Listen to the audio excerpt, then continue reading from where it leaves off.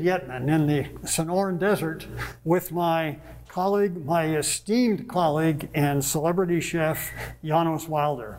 And we are still in the midst of the COVID pandemic. But because we're distancing appropriately, Janos, let's take off our masks. Okay. Then I can hear you better. Yes, and I can see you better.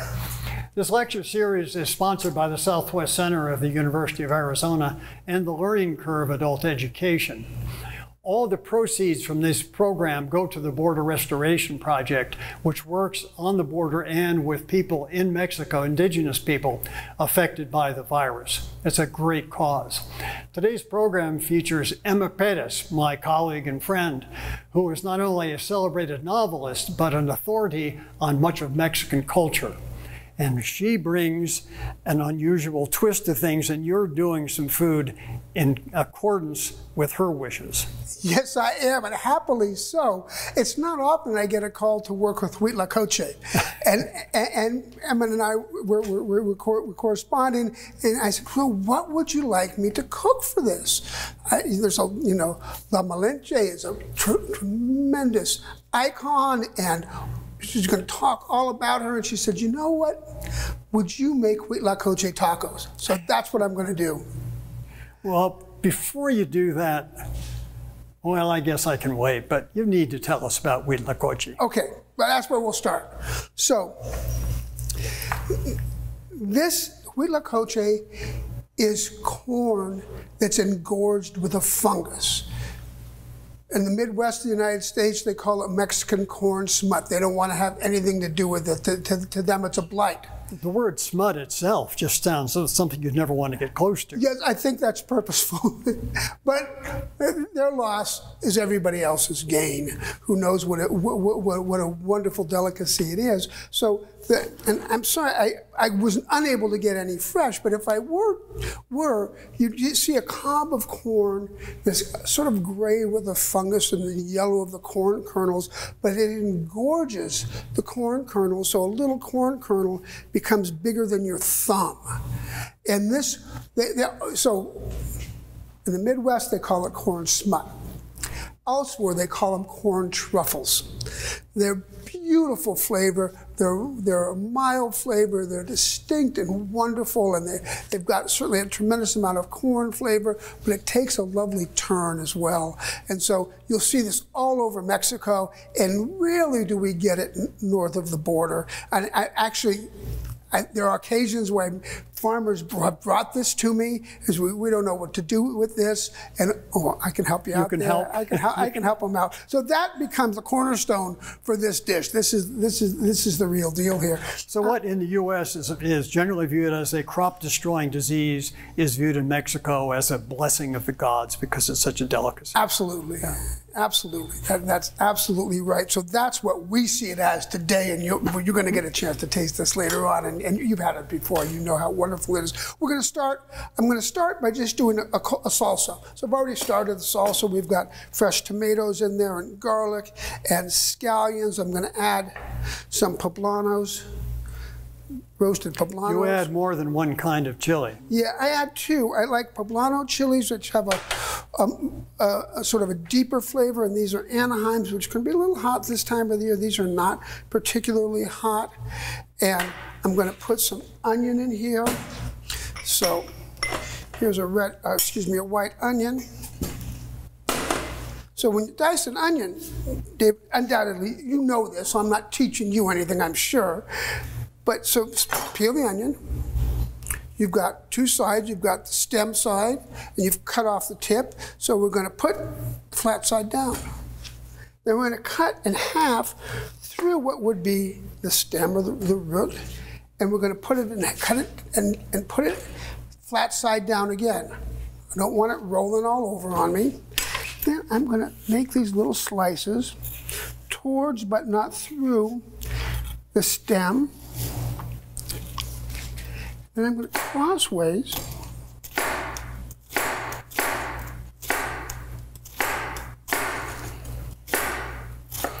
All right, and now I'm going to cut down and look at that perfect dice. Why didn't I know this before? You did know this. I did really? not know. Okay, all right. This is I've worth the price of admission right now. I'm going All to make right. a special donation. Okay. Well, I've been chopping onions wrong my whole life. Well, you got a lot of years left here, David. You can you can start right now, and you've got it right. So, all right. So now we have onions. We're going to put a little cilantro in here. Onions, chilies, garlic, tomatoes, scallions. I've got two types of vinegar here. This is a red wine vinegar, a little more of a bite. And this is a balsamic vinegar, an aged Both vinegar from. Italy. This would be not a traditional, no, nor ordinarily in Mexico, it's going to be citrus acid. You're going to put lime juice in Yeah. here. I like this salsa. I, I, I like the, what, it, what it does to it, and I'm a little sort of unconventional, and this is sort of an unconventional dish, so we're going to just set this aside. All right? Now, turn on. I'm sorry, I've got. I, I do have to work right here, and I'm going to. So these are magnetic induction. These are induction burners. So this big mm-hmm. magnet underneath this, underneath this, very heavy, and you get all the atoms moving around, and that's what creates heat. They transfer the heat to actually. This is will never get hot. It takes on heat from the pan, but if itself it wouldn't get hot. They heat the pan, and this is a really quick way to, to, to, to heat, and we can do that here without having a big hood over top of us.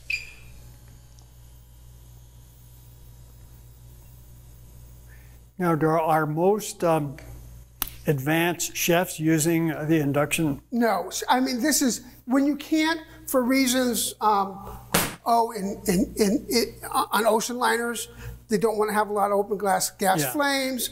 Um, places like this, in, in this application, where, where I don't want to have the sound of a hood or build a Yeah, hood over right. here, so this works. But no, first choice is always, in my mind, gas. That's, Yeah, that's, okay. that, that's the best. Okay, so we, but look how fast. Look at look at that oil's nice and hot. So we're going to add a little red onion. You know, my humble philosophy has always been olive oil and onions you can't go wrong with. we got to start with something good, huh? I'm just going to sweat these onions for a little tiny bit here. This is really simple. We're not, this is a taco, right? So we're not going to put tons of different things in here. It's going to be some onions, some garlic, um, some chilies. I'm going to add some chilies to it. The Huitlacoche. I'm going to put these in beautiful, fresh, warm corn tortillas with a little queso, little salsa, and a little queso fresco over the top You're torturing me. for a little while. You'll be released from the torture I see. with the, when, when, the, when the tacos that come along in a minute or two.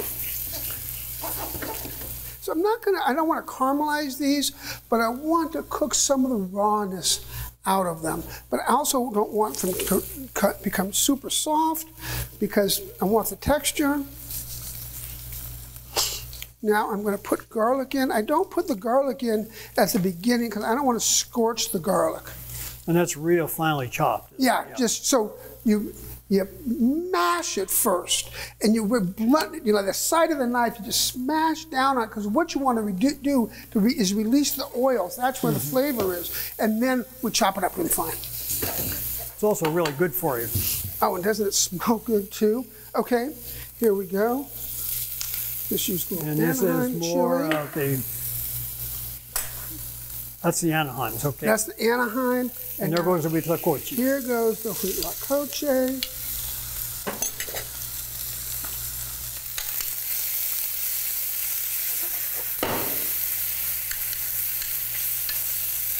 Now I'm really torturing you, aren't I? You can see the little, I mean, if you look, you can see this. There's, here's like just some little corn right there. This, that, that had been an unengorged ear of corn. I want a little salt.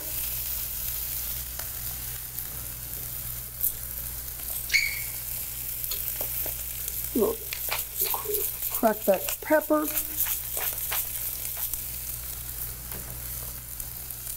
One thing I like about what you're doing is you're not trying to overwhelm the Huitlacoche. No, this It is the has main its own voice. delicate flavor. It is, and that's the main voice. I just want to accent it a little bit.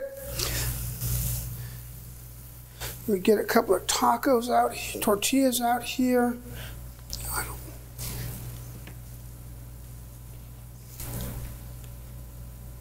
So these are hand stretched, handmade corn, fresh corn tortillas. And where are they from? I get these at Lenoria here in uh-huh. Tucson on Prince Road. They bring them up from Mexico almost daily.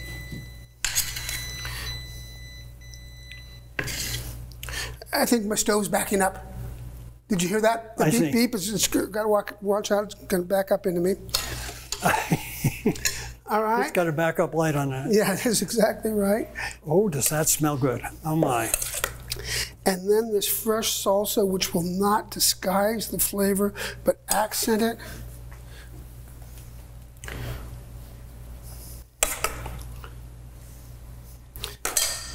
A little crumbled up queso fresco. And I know as soon as we're off air, these are finished. These are done. They're going to be consumed in a heartbeat. Yes, they are. And that is the idea. Have no fear. All right. So, Emma, it's all yours. Here we've got your Huitlacoche tacos. Emma, you have a tough act to follow. Malinche would agree.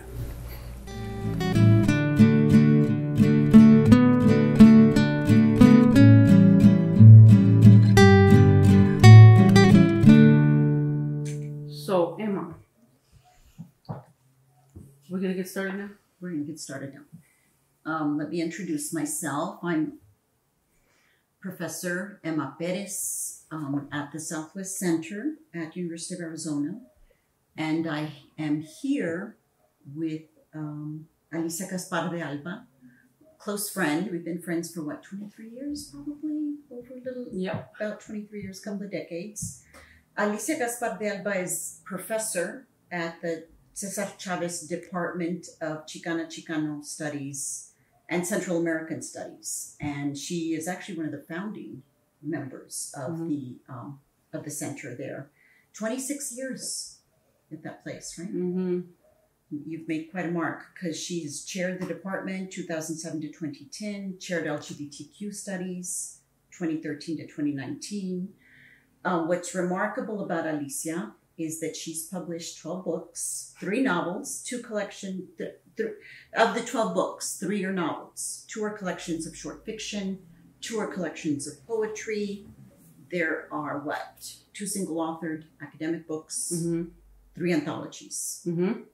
Um, and she is from El Paso Juarez, right? You're from El Paso Juarez, grew up native of the region, which is another way that I, I think we also had something in common because I was at UTEP for what, 12 years myself. Yeah. But I think that um, the other thing I wanted to point out is the importance of of you as a Sor Juana Inés de la Cruz scholar, Mhm. and that you've published a novel Mhm. about Sor Juana Inés de la Cruz, and an opera has Well, been recently Yeah, adapted. adapted Mm-hmm. from the novel, Mhm. which I've had the the, the uh, privilege of seeing, and I think the opera, once COVID is over, is probably going to be touring again. isn't it?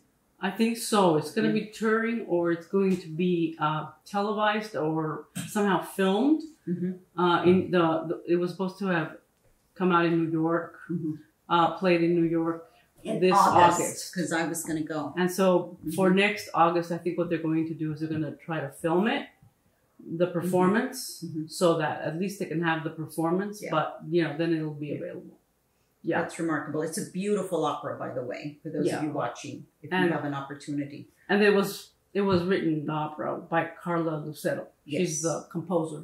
Okay. hmm Sor Juana Inés de la Cruz. You're also, and I think not just a, a scholar of that, I think I have discovered just how much you have written about La Malinche, Malinche Tenepal, which who is the topic of the of the lecture today. And this is part of a lecture series with the Southwest Center, which is also part of a food series. So we'll we'll talk a little bit about that as well. But what I want to do with you today is basically we'll be we'll have a conversation because I'm an historian You know, I'm an historian. I've been an historian for what?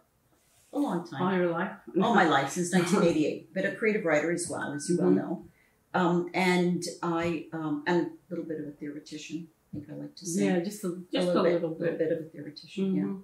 But um, so as Chicanas, Chicanx, Mhm. as Chicanx, we there comes a time in our academic career that Malinche Tenepal, Doña Marina, La Malinche, crosses our path. Mhm. And I, most of the Chicanas, Chicanx that I have talked to, as well as Mexicanas, become profoundly affected mm-hmm. with this woman, with this cultural icon, with this metaphor, with this real person. Why is that? Why do you think that is? What is it about Malinche that, that draws us so much as Chicanas, Chicanx, in your opinion? And then you're even in your own work, I mean, why do you write about her? Why did you begin to write about her?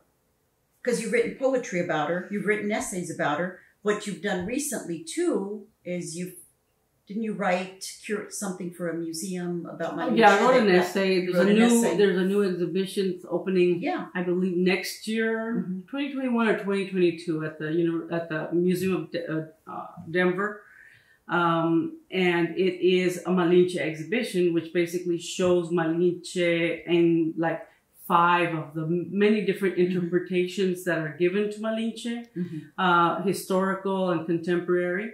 And so what they're doing with the catalog is that they're asking you to sort of comment how you use Malinche in your own work, Mhm. uh, and then and then putting you in a particular section Mhm. uh, that pairs up with some of the artwork Mhm. uh, of that that has been done on Malinche. hmm Yeah. So Yeah. there it is again. I mean, Malinche is so prominent in our culture, Oh yeah. in our communities, nationally, Mhm. internationally. What is it about Malinche?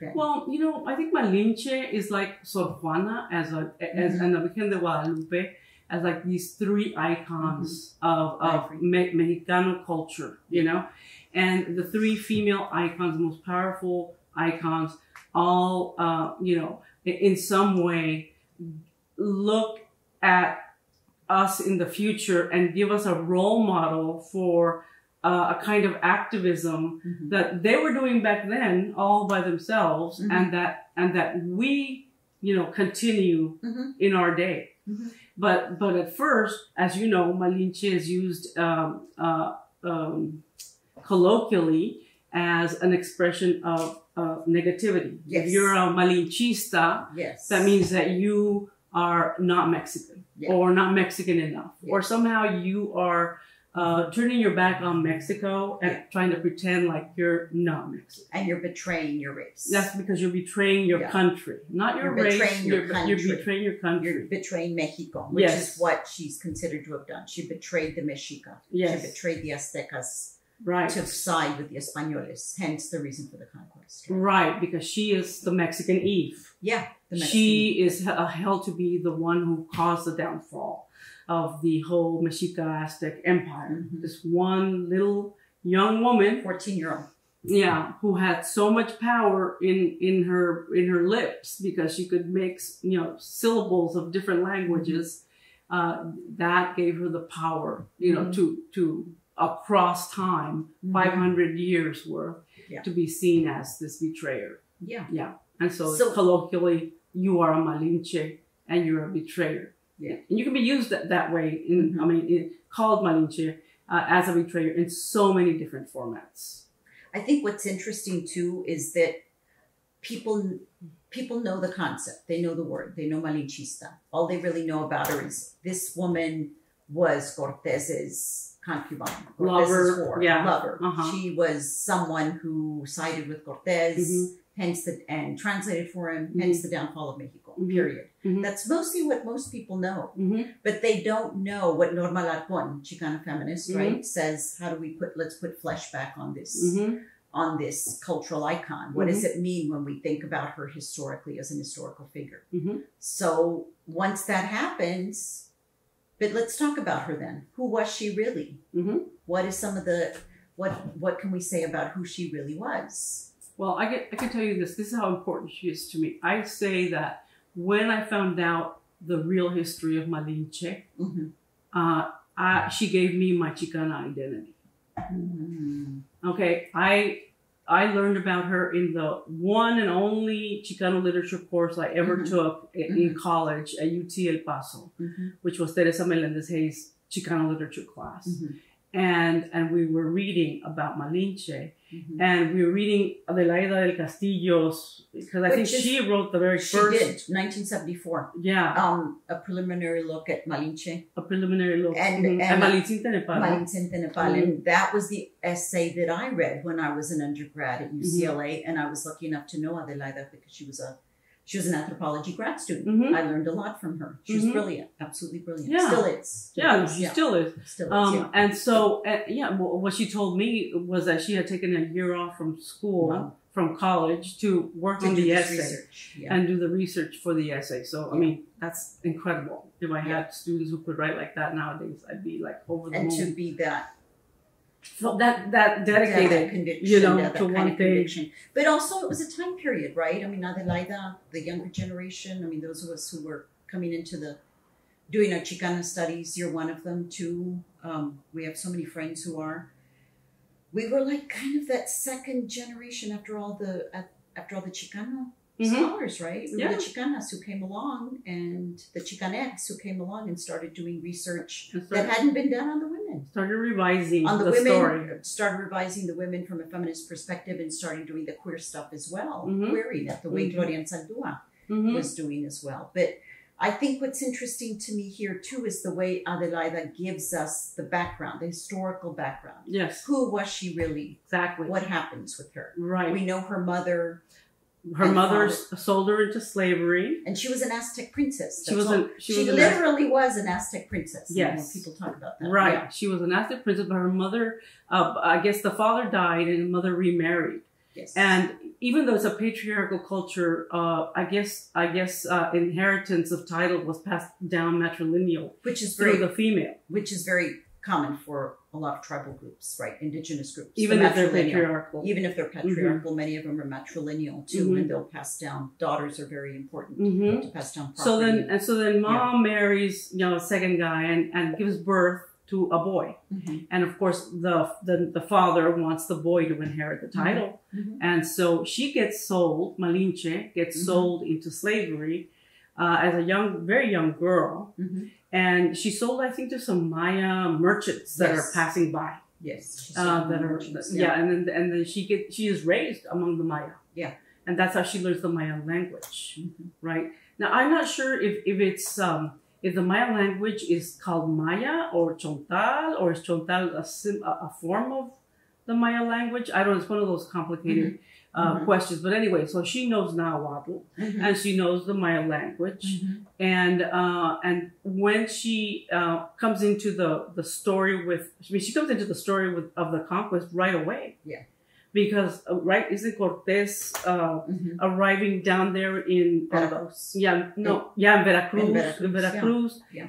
and uh, and is is uh, demolishing, Mhm. you know, with with his armored men and Mhm. The kinds of weapons that they had. Mhm. Uh, these these people who are like in awe, Mhm. thinking this is some kind of god coming to them, and of Mhm. course they're not going to approach the god with hostility, and yet the god is you know killing them. them, yeah, Mhm. massacring them, Mhm. and uh, and then he gets greeted right by the cacique Mhm. of one of the uh, tribes, and Mhm. and the cacique gives him all kinds of gifts, Mhm. thinking, okay, we have to render tribute because he's a great warrior. He's Mhm. killed all these people, so Mhm. we're going to give him gold and lots of food Mhm. and and women. and women, Yeah, because women were the virgins, the women young were women given as gifts, Yeah. and among the harem that was given uh, was Malinche. Mm-hmm. And she was one of the 24. Weren't there 24 virgins? 20 or 24 Something the like number that, yeah. changes but uh, and one, one thing that i read said uh, that he gave he was given 100 women so i don't know Wow. what the number was but anyway um, i've always heard that it was 20 or, Mhm. or 24 Yeah. so then he turns around he, you know malinche is just a young girl young Mhm. indian girl he gives her to one of his captains Mhm. and uh, and then you know figures very quickly that they these people these native people are gonna think that I'm this incredible uh, figure that they're going to Mhm. render tribute to, Mhm. and um, and so he kind of uses that, but he's not really quite understanding, even though he brings with him Jerónimo de Aguilar. Yes, yes, Niño very important because Yes. he knows he knows Maya. He knows? Maya. So Mhm. and because he's he's among this is this is Mhm. still Maya speaking country, Yes. uh, he's able to translate for him, you know for him Mhm. uh, with the Maya folk, and then he learns that these people are not happy living under the rule of the Aztecs Mhm. of the Mexicas. That they're you know bloodthirsty and Colonizers colonizers and Yes. and and always poaching on the people who offer to their gods and stuff. And so uh, they decide that well, since he's such a mighty warrior, they should Mhm. team up with him to Mhm. try to take over, uh, you know, control away from the from the Mexicas. Mhm. And that's how you know he renders Mhm. himself uh, even more powerful Yeah. with the help of all of these disgruntled tribes that that latch onto it. Yeah. So then, um, once he gets to uh, Nahuatl speaking country, though, Mhm. Jerónimo de Aguilar ya vale madre, Yeah, as they he say, he becomes useless too, because yeah. now he doesn't know Nahuatl, Mm-hmm. and out comes this young girl who happens to know Nahuatl, Nahuatl and, and Maya. Maya. Exactly. And so now she's able to translate from the Mexica folk to, Mhm. you know, him, and then he can translate to Mhm. Cortez. Yeah. Yeah. Yeah. And so immediately his, uh, her estimation in his eyes completely changes, Mhm. and he has her baptized. Yeah. And, and baptized Doña, baptized Doña Marina. Marina. Doña Marina. And so then Yeah. uh, the, the captain that he Yeah. had given her to, something I was reading says that he sent him off back to Spain and, Mhm. and, you know, took the girl onto himself. Mhm. And so then, of course, he became, she became his property. Yeah. You know, Yeah. And, and very soon because of her translation skills, right? Yeah. She was La Lengua. She was La Lengua. Yeah. And that's how the native people saw her. Yeah. La Lengua. and they and they admired her because Yeah. they still thought of them as these gods Mhm. and uh, and because she could speak to Mm-hmm. the the higher ups, Mhm. right? The Tlatoanis, Mhm. you know, right? The the the the, pe- the person in power was Yeah. a Tlatoani, he who Yeah. speaks. Yeah. And only he who speaks can speak to the gods. And she was Mhm. speaking to the gods and and to the Tlatoani. In Yeah. a way, she was kind of like a Tlatoani herself. Well, she was the one. What's so interesting to me is if you look at some of the pictographs of Cortez Mhm. with uh, what was his name? The the um, who was the king at the time? You mean Moctezuma? Moctezuma. Mhm. You see her in the middle. She's Always. always in the middle. She's She's, the interlocutor. Mhm. She's the one who is bringing, Mm-hmm. you know, br- translating, but also there's an incredible amount of power in being in that Nepantla space. She's in the bridge. Interested, she's the bridge. Mhm. She's definitely the bridge between Mm-hmm. Los Españoles and the Aztecas and the new and the new world, Mhm. right? What's going to become the new world? And not only So- she's the middle person, she's also the biggest person in the she's picture. the biggest person in the picture usually, Mhm. and that's how she's depicted. And Mhm. you know, I've also heard this. Maybe you've heard it too. That that that when they would see the Indios, Indias would see them coming along, they would call him El Malinche. Uh-huh. Cortez wasn't known as Cortez; he was El Malinche Yes. because he was in related relation to her, To her. which Yeah. I think is always very interesting. Yeah. They changed the they Mhm. changed the order Yeah. there. Yeah. yeah. So she was more prominent Mm-hmm. in their minds. Yep. Yep. So she and here she was what 14, 15? And and the reason that they the called time? they probably called I mean they called her Malin Tsin. Mhm. Uh, her name was Malinali, Mhm. but then Tsin is uh is uh, Yeah. uh, added to people who ha- have a certain level distinction. Yeah. So Malintzin, Yeah. right? And so then that in Spanish became Malintzin, became Malinche. Malinche. And Yeah. so that's where Malinche the comes. syncretic.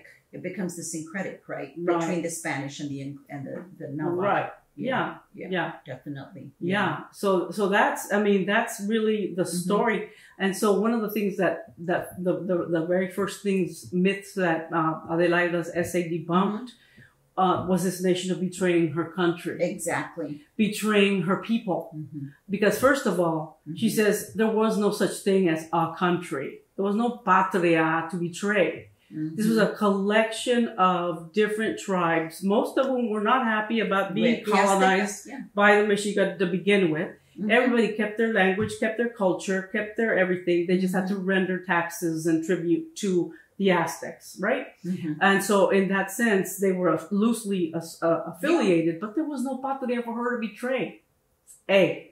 B. Mhm. She had already been sold into slavery By her own parents. by her own mother. mother. By her own, So- who holds a mock funeral? Oh, that's right. That's she right. holds she a mock holds funeral, funeral saying, her "Oh, her daughter's dead," and so everyone believes, "Oh, okay, the daughter's dead." So That's gone. right. So now the son can inherit, That's right. legally inherit. Exactly. Yeah. So, you know, so again, how, is she going to owe any loyalty to the very people that Sold her betrayed her Her to begin mother. with? You know, Yeah. so she's really the betrayed daughter, Yes. right?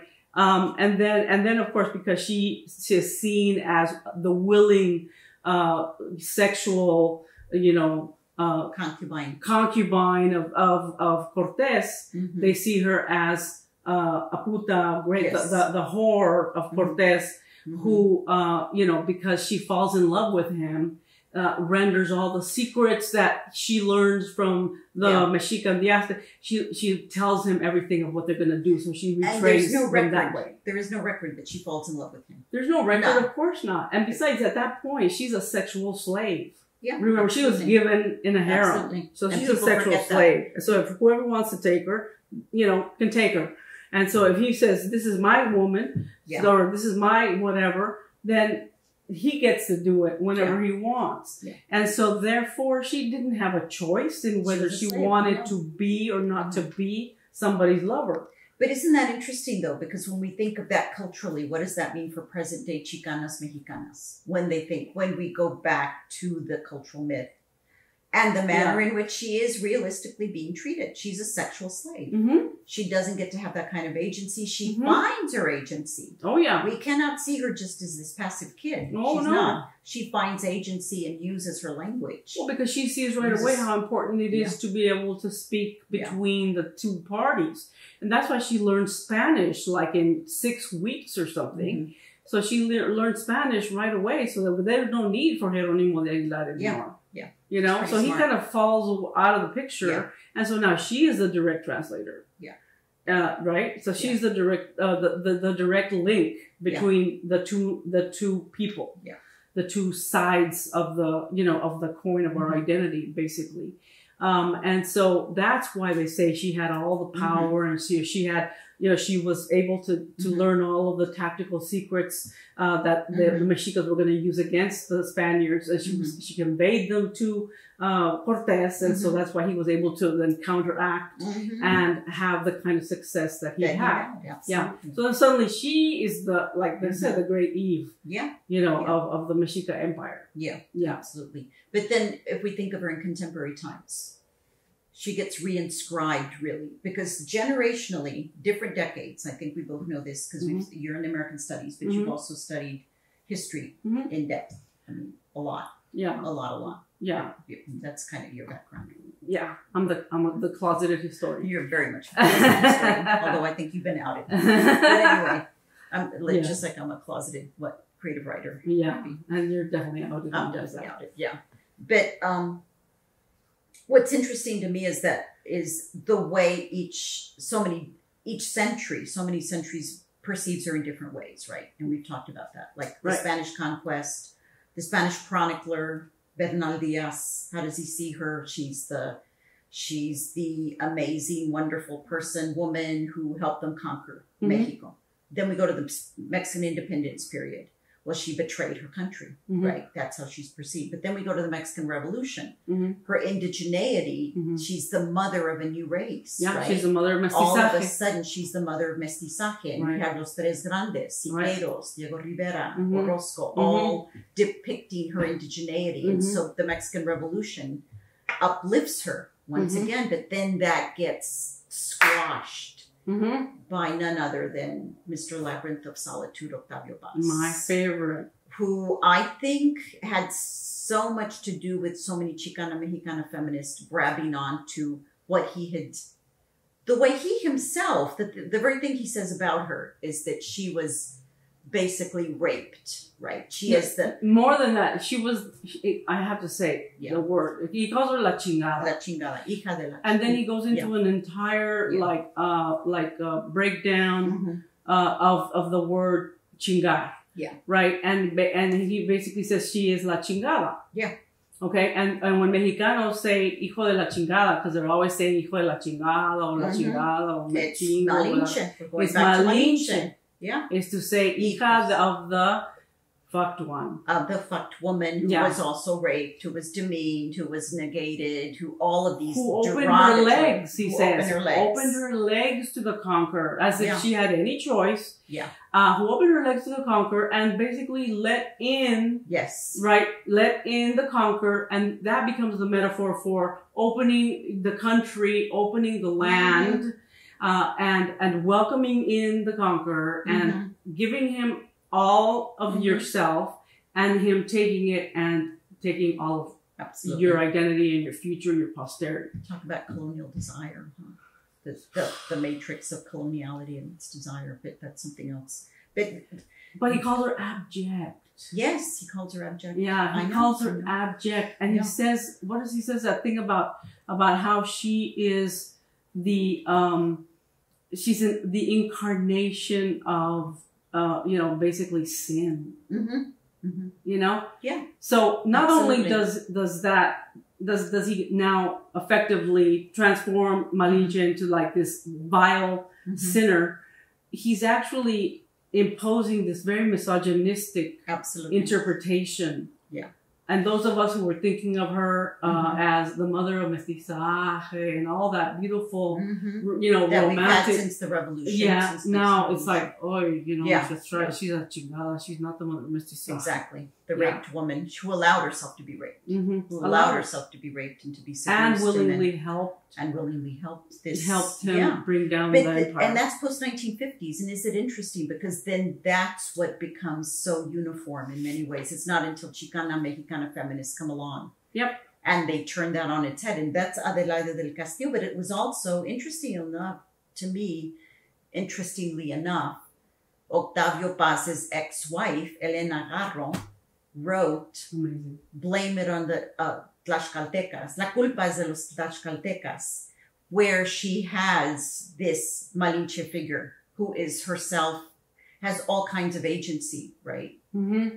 And you can tell that there was a real battle between Garro and Paz. I mean, she Mm. divorced him and went to what? She had that put a continent between them. She went to France before, and then he died, right? Yeah. After that, he died, I think. No, He was- died in He died in 98. I had a chance to meet him once. He's very soft hands, this man.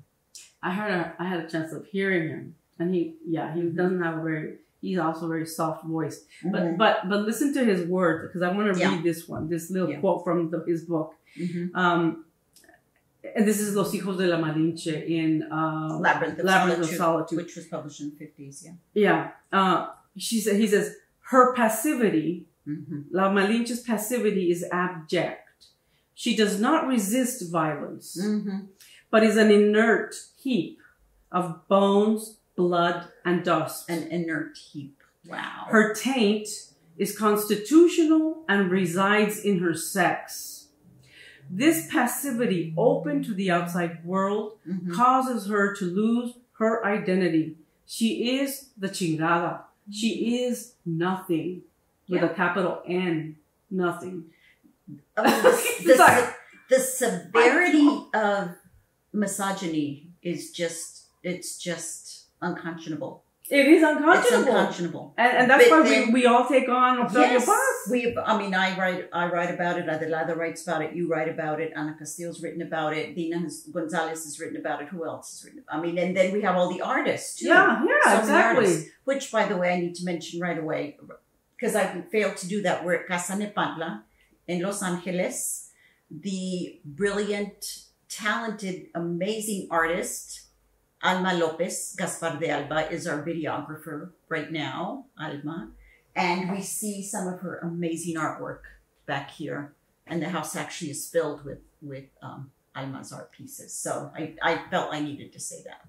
So um, Yeah.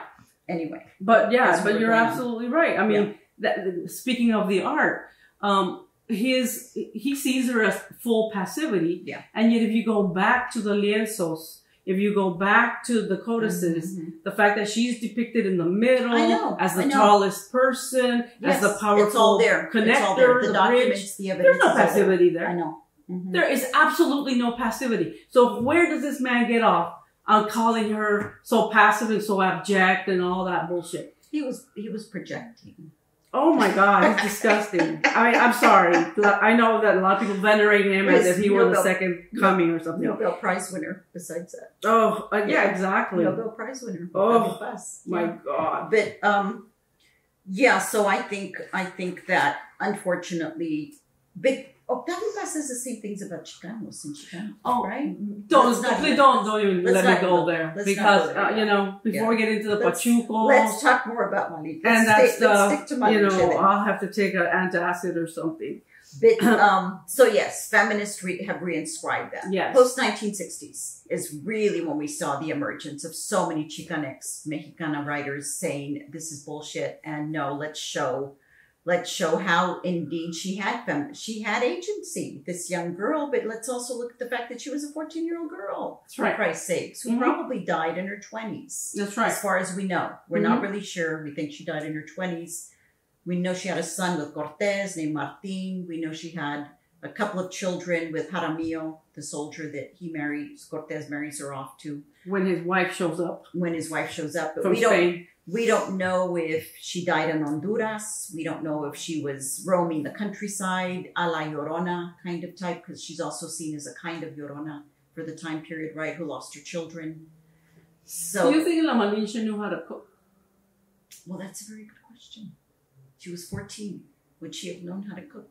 I don't know. My mom was cooking at the age of eight in the on the out at the um, they were picking cotton, right? So girls had to know. Uh, are you infer- home- Are you also asking because you don't think I know how to cook? Is that what this? I know you know how to cook, and I know I know how to cook. I know you know how to cook. Uh, But okay, but the the home that she shared with Jaramillo, Butches know how to cook. Okay. just need to butches say use butches use cooking to you know Okay. You know what I'm saying. you, we use cooking. But did To Malinche please know how to cook? Did Malinche know how to cook? But the reason I'm asking again is the home she shared with with uh, Juan Jaramillo, Mm-hmm. uh, Juan I think was his name, Mhm. um, has been, according to the legend printed on the menu, uh, was transformed into a restaurant called Wow. Malinche. Where is it in Mexico? It's In- it's in down in the downtown area. I wonder if It's I've in the been there. downtown area. And when I saw that there was a Malinche restaurant, Yeah. obviously, you, You know, I had to go there. Yeah. And and it's uh you know it, it looks like it could have been one of those colonial homes, Mhm. uh you know with the big tall ceilings and all the big huge windows, Yeah. así muy elegante, right? Sí. Um, and so you know you get seated at this beautiful table with a nice white tablecloth and I all would, that, I would remember. and and the I waiters así todos muy Mhm. formales, right? Mhm. So, um, so all they serve there is traditional Mexican recipes. Yeah. Okay, so they have like mole, and they Mhm. have, um, you know, uh, tacos de huitlacoche, and Yeah. all that good stuff, Mhm. right? Like, but they also have, and what I ordered because my grandmother used to make this, and I wanted to compare it to my grandmother because she was like really the, the best cook I Mhm. ever knew. Uh, was the chiles en nogada. Oh my God! Yes, chiles en nogada. chiles There's en nogada, right? chiles So then they s- they have these two ginormous, uh, you know, chiles this size, Yeah. you know, stuffed with that beautiful, Mhm. you know, uh, picadillo, Sí, sí. uh, and then each of them is covered with the the seeds, right? The Mhm. pomegranate, Pomegranate seeds, yeah. and they're sitting on a bed of that delicious cold Mhm. um, uh, walnut sauce. Oh my God! Okay, So and and good? so so you take a you know you slice into that chile and you Mhm. get that sweet picadillo with the tartness Mhm. of the pomegranate with that richness of the walnut seed Mhm. and you take it all into your mouth and it's like this explosion of flavor you're just like oh my god So they were good then. kind of good Because I had really Kinda good good. If but- we're talking about chiles en nogada, I had really good ones in um, San Miguel de Allende. oh yeah oh yeah they have Amazing really ones. good ones So these are this is a recipe. This this is food from the time this period. is food, food from the but but the thing that's interesting about about Mhm. chiles en nogada Mhm. is that they're really a dish about the Mexican nation. Yeah. because of the three yes, colors. The three colors, right? absolutely. The green, the Yeah. red of the pomegranate, and the Yeah. white of the of the walnut sauce. Yeah. Right. So Yeah. here's this nationalistic dish Mhm. being presented at the Malinche restaurant as a you know traditional recipe uh, that Mhm. that would have been served during her time period. Well, obviously they're collapsing a few centuries they are collapsing into yeah. right. So That who knows Lapotle would have made more sense. Yes, you know? yes, yeah, with the exactly. corn, with corn. with yeah. the corn fungus and stuff? Yeah. Yeah, I know. But Yeah. uh, but anyway, so when you first told me about this interview and that it had something to do with food, I, Yeah. I thought, oh, I have the perfect story to tell about about the. Malinche restaurant, Yeah. um, and that that may or may not still be there. Yeah. But it was a very fine restaurant, so I'm just wondering if she knew how to cook as well as everything But else What's interesting is the in, the imposition of that. I mean, yeah, a few centuries later. I mean, but this is so much about how we, as historians, as scholars, how we impose the present upon the past. right? Oh, always. and that i mean yes i'm going to mention foucault for him it's that genealogy we always take the manner in which we socially construct our ideas and we impose them on the past i mean mm-hmm. young people think they do that they're the ones who've discovered that but really we've always been doing this Yeah. um, and and then what does that mean when that happens i mean then there are different interpretations each generation has its own interpretation hmm so what does that mean for someone? I mean, we're in a post, supposedly post-feminist period. So what does that mean for Malinche, right? And how is she being perceived now by a younger ge- generation? Well, I think that you know, I I know that in my classes at UCLA, Mm-hmm. every time I teach on Malinche and bring up Yeah. all these things, Yeah. the the first generation students who have either are immigrant or they're Mhm. the first generation after their parents, uh, who would only have heard about her in the context of Mhm. Malinchismo and Mhm. betrayal and all Yeah. that. They're at first, you know, they're kind of like not letting go. Of, Yeah. No, no, no. Oh no, she she was a she was a betrayer. betrayer. She was a bad woman. It She was this. She was that. Absolutely. And then- thank you, Octavio Paz. And Yeah. then they start gradually, you know, getting it.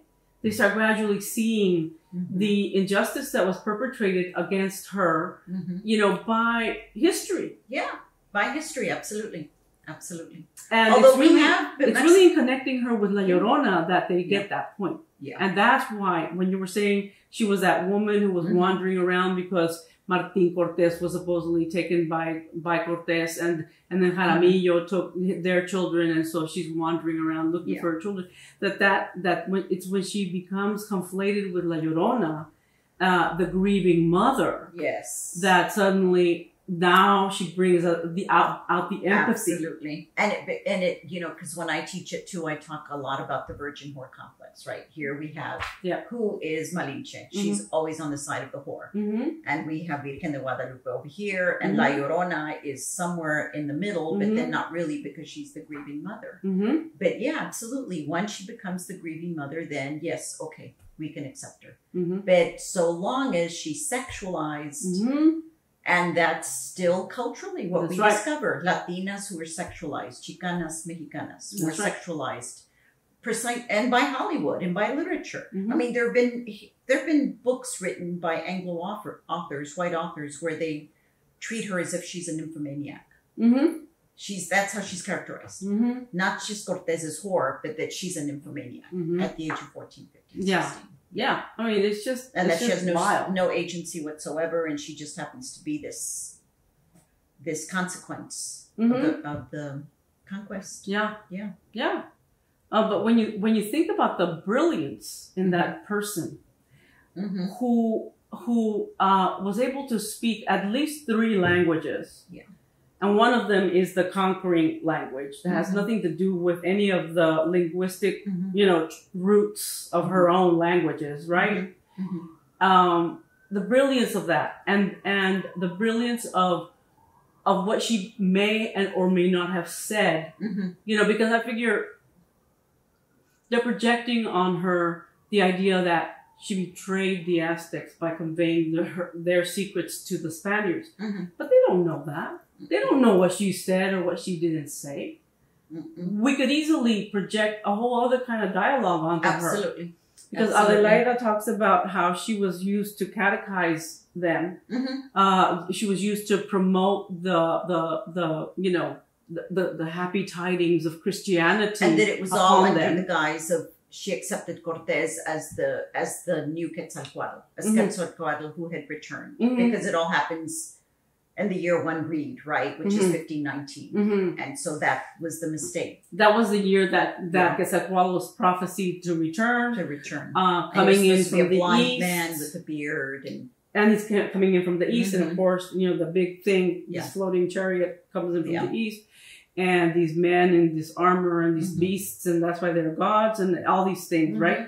So, um, so she is then this um, person who may have said to them, "Let's let's pretend because they're killing us, Exactly. and they mean they mean it, exactly, Okay. exactly, and and they're they're making us believe in their gods as well." absolutely, because people forget. I mean, those who are being colonized, those who are being oppressed, those who are being victimized, they're not stupid. hmm they're not stupid, you know. So, and I think what we we find that over and over again in history, and people assume, oh, we have here we have the victors, here we have the losers. The victors are so damn smart. hmm No, Mhm. no. What we have are people over here who are negotiating so much and who are figuring out how do we manipulate these these hmm damn colonizers, these Mhm. white these white dude colonizers. Yeah, right? yeah, and really, how can we save ourselves? Yes, absolutely. And I'm gonna quote. How do we I'm, I'm gonna go do back to Alma a little Yeah. bit because I was telling you about the. Um, she and I edited a book called Our Lady of Controversy,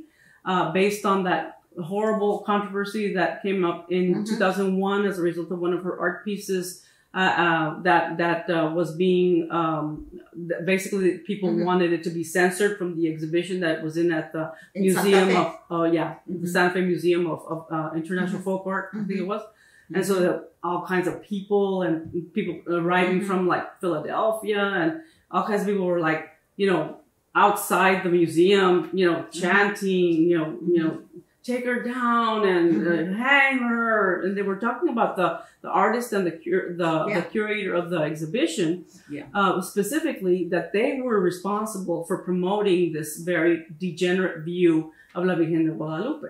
Mhm. So it generated this horrible, and you know, in many ways, she was seen as a Malinche figure. Absolutely. She is seen as a Malinche figure. betraying Catholicism. She's betraying Catholicism. Mhm. Betraying And- the culture, which and- is the culture. And right? in fact, it didn't help that people said she herself is Mexican. She herself grew up with this figure because then she's like, well, yeah, that's what that's why she is a betrayer because this is her own culture and Mhm. look what she's doing. yeah. So anyway, so we put a book together 11 years after, 10 years after that whole business.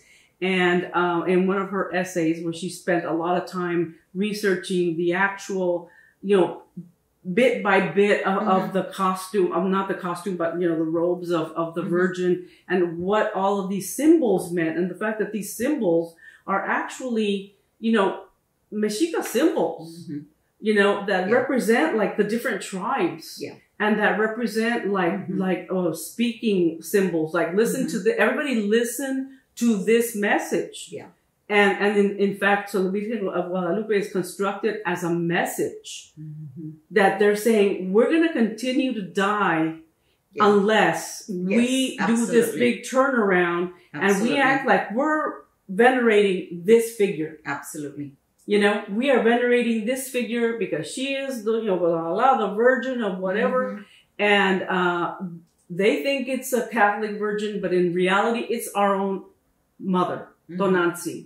Yeah. So Tonantzin is, it lives under these robes. Yeah. So we can still continue Yeah. to worship our goddess and no matter what she's wearing, but what we're going to give her to wear. And that's what makes her so different from the. Virgin Mary. When people call her the Virgin Mary, I always say she's not the Virgin She's Mary. not the Virgin Mary. Okay, Absolutely this is not. a different virgin. Yeah. Look at what she's wearing. Virgin Mary never wore this kind of stuff, Mm-mm. right? Mm-mm. She's always worn just a plain, the plain blue or white or Blue whatever. White. That's it. Nothing on it. Nothing on it. Yeah. Those are messages, Mhm. okay? And those messages are written in their language, and Mhm. nobody but they could understand them. But Mhm. interestingly enough, within a year, Mhm. they've converted. They've converted to to Christianity, and uh, suddenly they're not dying by the you know bucket full and Yeah. and you know whatever. And also interestingly, she too dies. Mhm. according to some of the stuff that I've read. She dies within a, a decade after the conquest. Malinche does. yeah. Malinche does. Yeah, Ten she does. years later, Yeah, she's she dead dies 10 years of later. smallpox. Yeah. Yeah. Because that's the one one of the things that's Yeah. never remembered. All these people who are blaming her for the downfall, right? They don't blame the fact that the Europeans brought all these the disease, diseases yeah. that they had no immunity to, Mhm. and of course they were going to die, Mhm. right? Let alone being whipped to death and worked to death and uh, punished and just outright, you know, killed. Mhm. Uh, so it's like that Mhm. in connection with all those tribes that were Mhm. angry already at the Mhm. Mexicas, who helped out the Spaniards, Mhm. uh, who also took place, you know, in t- took a huge role in defeating the the Mhm. the Mexica. You know, why are you gonna blame this one girl? I mean, how unfair is that?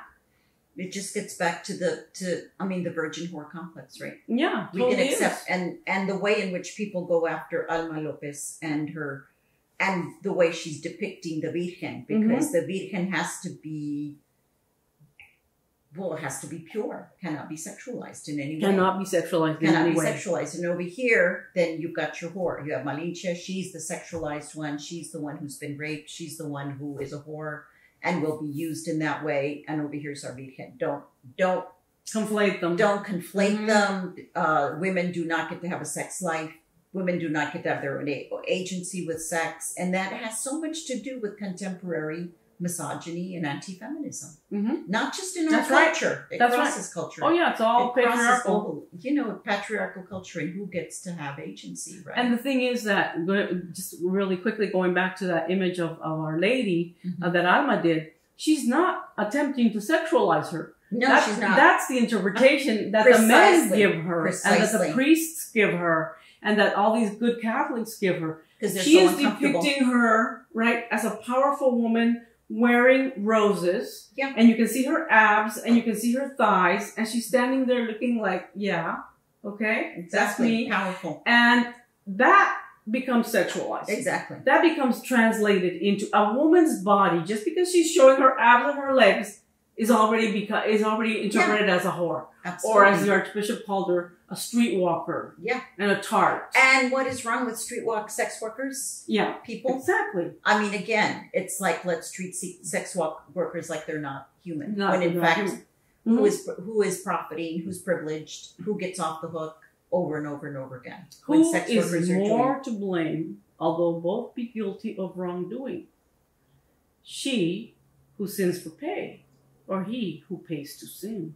Where's this from? Sor Juana, of course, of course, of course. in Hombres Necios. Of course, en hombres necios. You Uh-huh. know, we've been going for some time, but I wanna, and I really wanna thank we you. could continue all we night. can I know. we can do this for hours. It's always so fun to, when you and I get together and, and argue and debate and contribute to each other.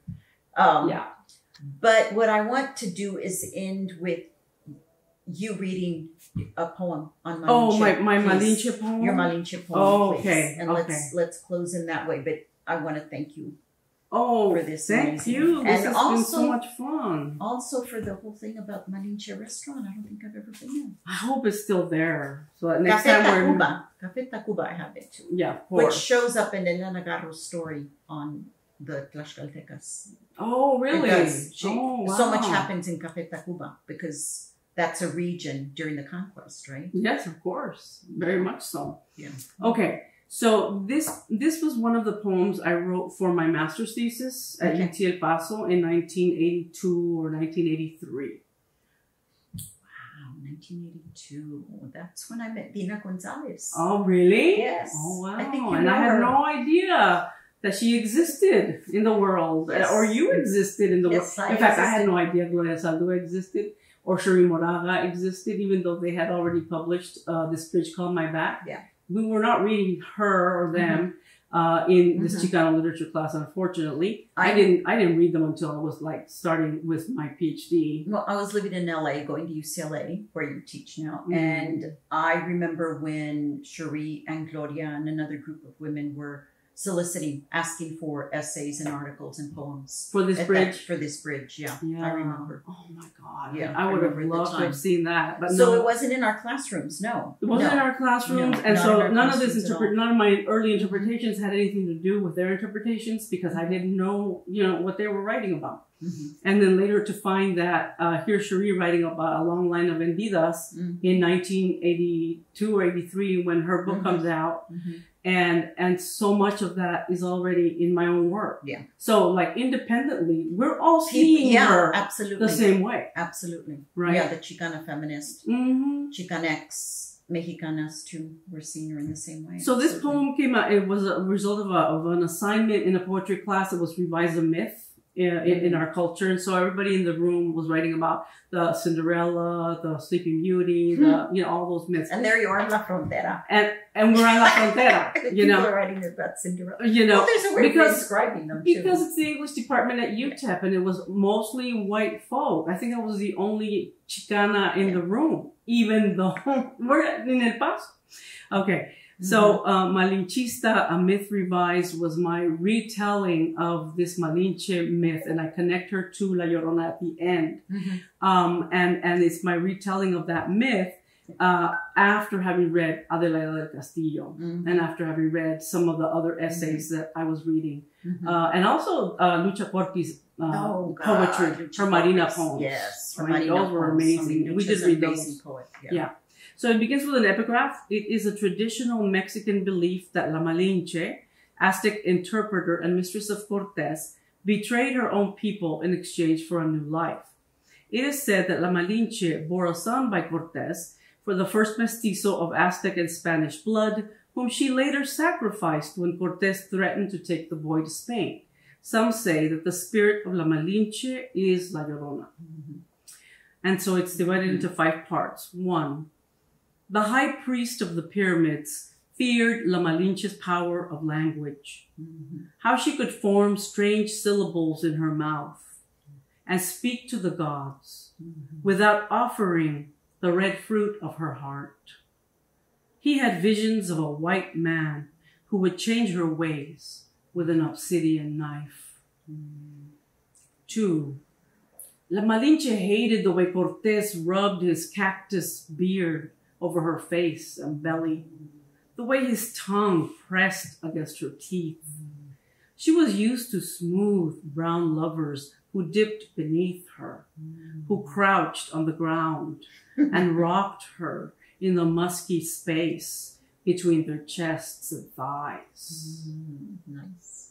Three, when the child was born, his eyes opened Aztec black. His skin shone cafe con leche. His mother wet his fine curls with her saliva to make them straight. His father cursed the native seed in that first mixed son. Four, they slept under the black silk of a Tenochca sky, the hammock molded around the two bodies, a woman's buttocks heavy after childbirth, an infant weighted by the shadows in his skull. A coyote lurking near the river could smell their blood. Five. The woman shrieking along the littered bank of the Rio Grande is not sorry. She is looking for revenge. Centuries she has been blamed for the murder of her child, the loss of her people, as if Tenochtitlan would not have fallen without her sin. History does not sing of the conquistador who prayed to a white god as he pulled two ripe hearts out of the land. Wow, that's stunning. Thank you. Thank And you. That will end. Thank you. This was great. It was fun.